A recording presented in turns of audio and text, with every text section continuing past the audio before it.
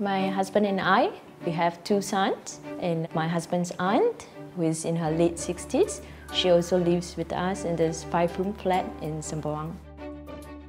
With two growing kids, the expenses are definitely on the rise, so I have to set aside more money for food, education, and household expenses.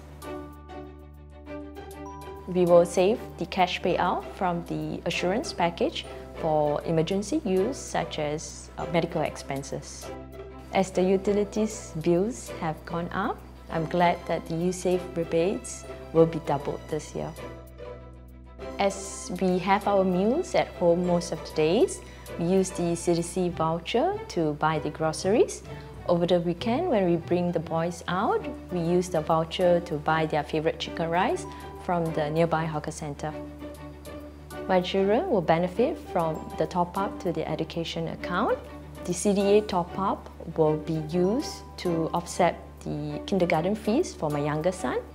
For my elder son, the top-up will be used to pay for school activities such as excursions. My elderly aunt is also happy that she benefits from this year's budget. I'm 67 years old. Currently, I'm working for a non-profit organization. I'm actually hoping to retire soon. The cash payout and a MediSave top-up will be very useful for the seniors. As I want to stay healthy and active, I will use them to buy my supplements and pay for my monthly medications. Every cent counts. We are very thankful for all the help we can get.